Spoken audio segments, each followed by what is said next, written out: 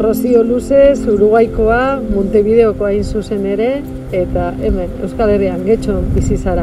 Zein da, zein da zure historia?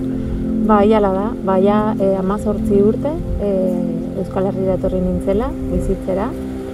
Ba, batez ere, e, ba, aukera izan nuen Uruguain Euskara ikasteko, eta eta bera mazortzi urte erabaki nuen, ba, bueno, ba, probatu nahi nuela ba, Euskal Herrian bizitzea zer zen, eta amaren gurasoak e, ba, Euskal Herrikoak ziren, eta txikitatik ba, beti lotura Euskal Herriarekin, ba, nola bait, e, Uruguaioak izateaz gain, ba, ba, ginen ere, e, familiko ba, ohitura edo bizipen, bizipena zen, ba, Euskaldunak ere ba, ginela edo, edo eta e, ba, gu behintzat e, ba, zapatu erratzaletan ba, Euskal Etxera joaten ginen, e, Euskal Lantzak egitera, lenguzinekin eta guretzatzen ba, lenguzinekin elkartu eta zerbait elkarrekin egiteko aukera. Eta gero, bueno, familian ere, ba, tarteka e, ba, Euskal Etxea ibiltzea. Txikitan edo gaztetan bada zure ba, kulturaren parte bat edo ba, hor dagoena eta eta gerora e, batez ere niri gertatu zitzaidan amala o urtekin euskara ikasten hasi nintzenean nolabait euskaldun du eta eta ba, Euskal Herriaren parte ere sentitu nintzela, ez? Ba, niri gara horretan esan ziaten, ba, Euskalduna Euskaraz dakiena da, eta oso e, ez dakit, ideia inklusiboa iruditu zitzaidan, ez? Ba, Euskalduna izateko Euskara jakitearekin nahikoa, ze, ze gauza ederra, ez? Eta nola bait, ba, nire etzat izan zen, ba, ba, bueno, nire izaeraren parte e, edo euskalduna sentitzearen e, finkatze bat, edo Uruguain errefusiatu asko zeuden sasoi horretan, eta horrek ere, ba, nola bait, ba, jarri ninduen egoera baten aurrean, eta ba, nola bait, ba, ez dakit, ba, erabaki edo, edo bueno, pues, ba, posizionatu behar duzu, eta iritzi bat izan horren aurrean. Eta horrek ere ba ba nolabait ba jartzen zaitu ba, bueno, aukera batzuk e, e, hartzera edo edo bultzatzen zaitu. Eta gero horrek ekarri zintuen Euskal Herrira. Ba hori da. Ba gerora ba gogoan neukan hemen ere bizitzeko eta jakiteko ba benetan zelakoa zen Euskal Herri hura, ez?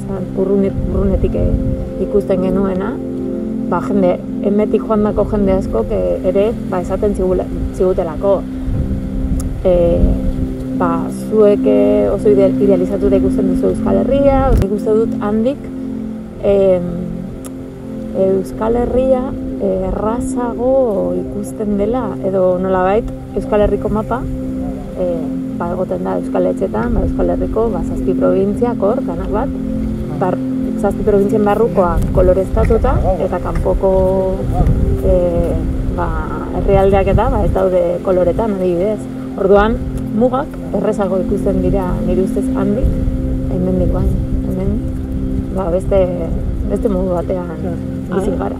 Handik herri bat ikusten zenuen, eta bai. hemen ostera zer ikusten duzu? Hemen e, pertsonen araberako ikusmoldeak pertsona batzuentzat herriak batzu dira, beste batzuentzat beste batzuk. Niri hain zuzen ere esan duzun horrek hori gustatzen zait, ez ara noanean zean ikusten dut hori herri bezala ikusten dela Euskal Herria, ez? Eta eta badakit hemen jente guztiak ez duela horrela ikusten, ez?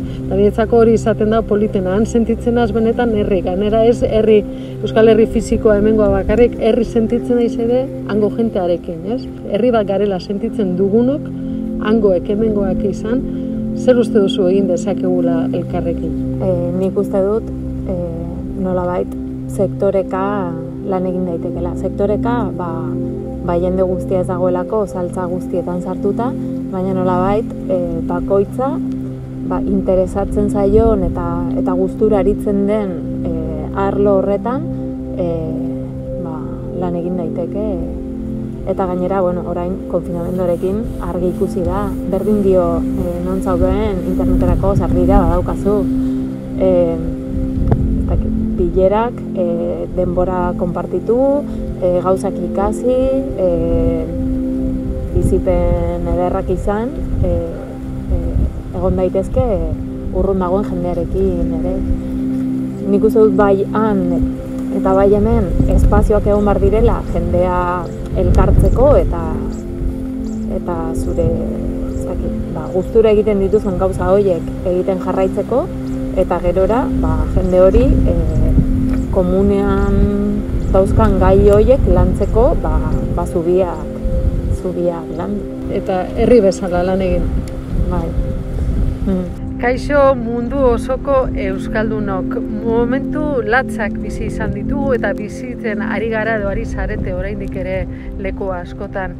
Momentu latza dira, baina momentu hauetan sekula baino argiago dago herri bezala egin behar dugula lan, elkarrekin egin behar dugula lan, bakoitza beren esparruan, baina beti elkarrekin.